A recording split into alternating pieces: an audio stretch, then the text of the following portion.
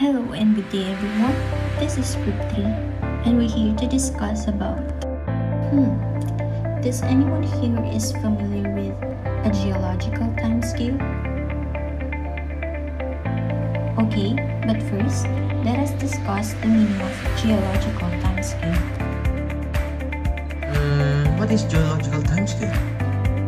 Geological timescale is used to describe the timing and relationships of events that have occurred during Earth's history.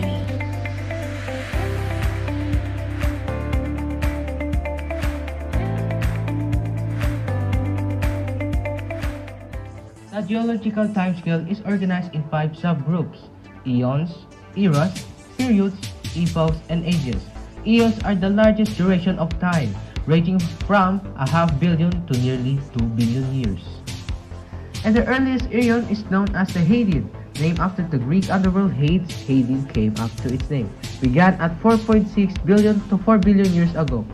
It is characterized by Earth's initial formation from the accretion of dust and gases and the frequent collision of larger planetesimals and by the stabilization of its core and crust and the development of its atmosphere and oceans.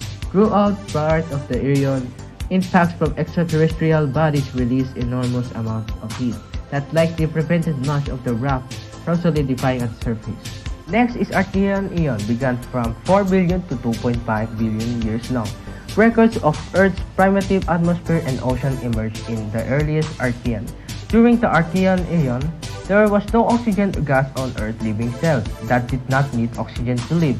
Instead, they made energy out of sulfur and other elements.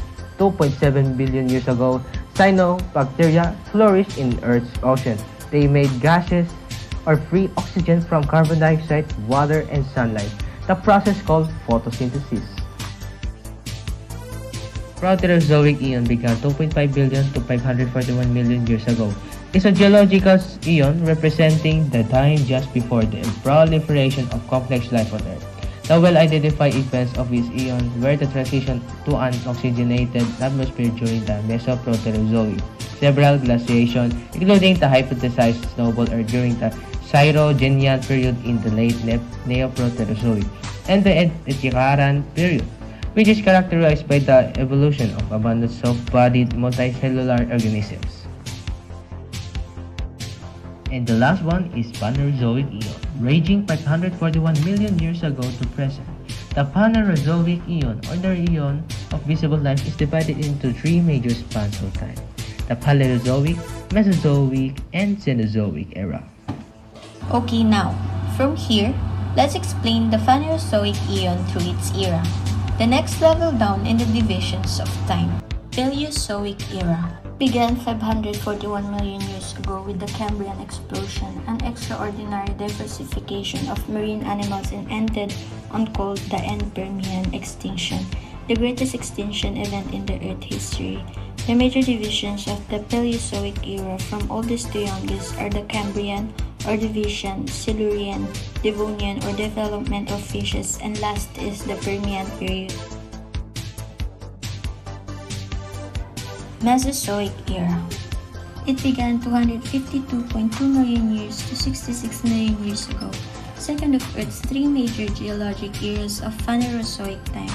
Its name is derived from the Greek term for middle life.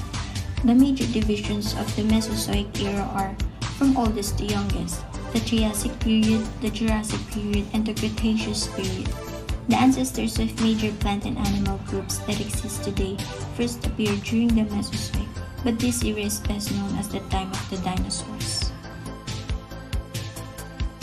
Cenozoic era.